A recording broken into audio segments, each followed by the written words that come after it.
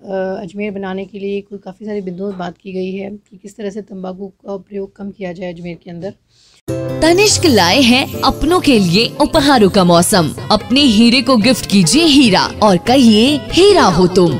Hero के गहनों की कीमत पर पाइए 20 परसेंट तक की छूट। Visit Tanishq India motor circle Ajmer.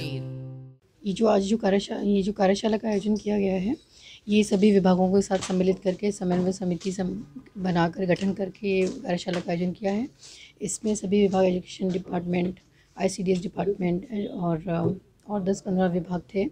इसमें ये कलेक्टर साहब की अध्यक्षता में की गई है। इसमें तंबाकू मुक्त अजमेर बनाने के लिए कोई काफ़ी सारे बिंदुओं पर बात की गई है कि किस तरह से तंबाकू का प्रयोग कम किया जाए अजमेर के अंदर।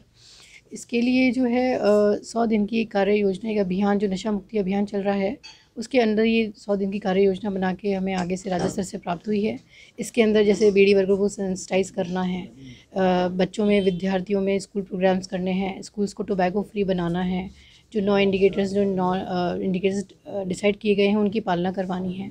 आंगनवाड़ी को तंबाकू मुक्त करना है जितने भी अपने चिकित्सा इंस्टीट्यूशन हैं उनको जो है टोबैको फ्री करना है। तो एक एक कमेटी बना के इस पर एक एक्ट को अच्छे तरीके से लागू करने की ज़रूरत है तो इसी के लिए कलेक्टर साहब की अध्यक्षता में मीटिंग की गई है।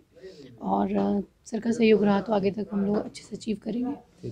आपका नाम और मैं doctor Punita DC district consultant tobacco control programme. हम मेरा नाम राजन चौधरी है मैं सोशल एक्टिविस्ट हूँ। तंबाकू मुक्त राजस्थान कैंपेन के रूप में काम कर रहे हैं और विशेष रूप से इंडिया की जो स्मार्ट सिटी हैं, उसमें अजमेर, पहली दो स्मार्ट सिटी बनी है, जिसमें अजमेर भी एक स्मार्ट सिटी है।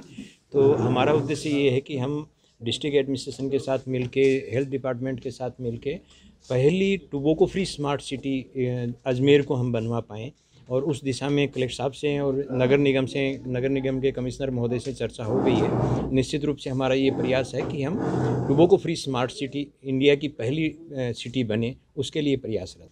आज क्या है, मीटिंग हुई है कि अजमेर शहर में टोबो को जो है, उसको कम से कम नियन, लोग उपयोग करें। उसके लिए एक कार्य योजना बनाई गई है कि इसको कंट्रोल कैसे किया जाए कि उसका चलन बहुत ज़्यादा हो गया आजकल टोबो का, युवा वर्ग में और सभी जगह। तो उसके लिए एक जयपुर से हमारे को सौ दिन की कार्य योजना मिली है।